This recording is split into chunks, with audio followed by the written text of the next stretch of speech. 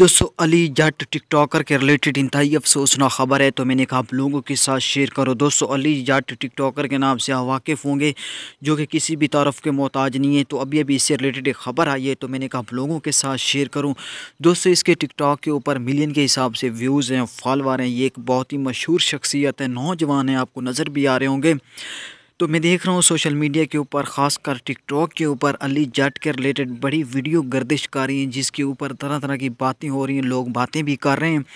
आखिर उसकी हकीकत क्या है? दोस्तों, इस टाइम जो टिकटॉक के ऊपर ट्रेंड चल रहा है, वो अली जट के रिलेटेड लोग चला रहे हैं और वीडियो में ये फरमा रहे हैं, ये जो अली जट है ये काफ़ी दिनों से लापता है, मिल नहीं रहा। इसके घर वाले परेशान हैं, इसका माँ बाप परेशान है, अली जट की कोई ख़बर नहीं है।